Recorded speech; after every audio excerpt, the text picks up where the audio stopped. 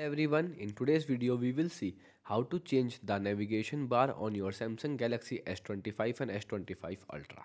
Okay? To change the navigation bar you can simple firstly open the settings then after go to display setting.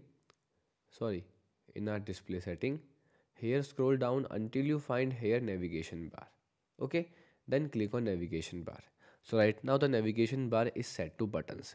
That's why you will see in a bottom there is a buttons to use to navigate through the phone.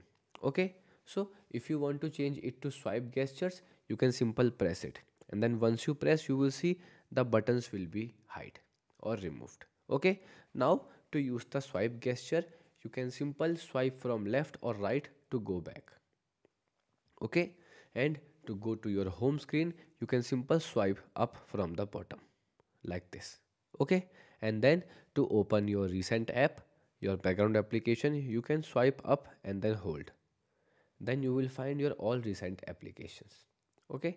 And then to go back you can simple swipe left and swipe right. Okay? So here is how you can easily change the navigation bar on your samsung galaxy s25 and s25 ultra. And then if you want to use again the default one so go to display then go to navigation here where the navigation bar and then select the button option. Goodbye